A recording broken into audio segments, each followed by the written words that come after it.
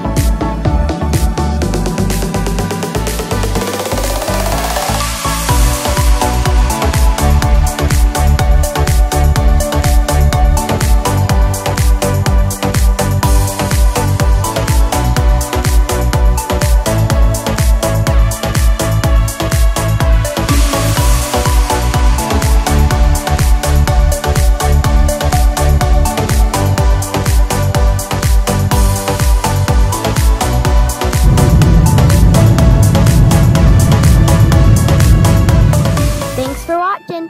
Be sure to thumbs up and subscribe. See you later.